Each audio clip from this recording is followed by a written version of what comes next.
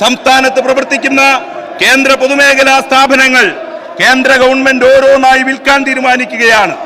അങ്ങനെ വിൽക്കാൻ തീരുമാനിച്ച വ്യവസായ സ്ഥാപനങ്ങളെ വാങ്ങി അത് ജനോപകാരപ്രദമായി ഉപയോഗിക്കുക എന്നതാണ് കേരള ഗവൺമെന്റ് ചെയ്യുന്ന പ്രവർത്തനം.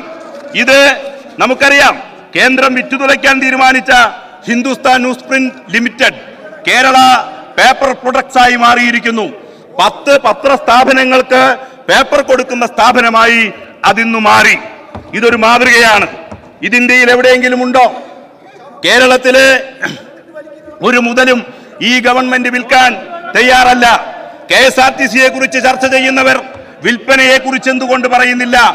കേരളത്തിലെ ഗവൺമെന്റ് ഒന്നും വിൽക്കുന്നില്ല എന്ന യാഥാർത്ഥ്യം മനസ്സിലാക്കണം.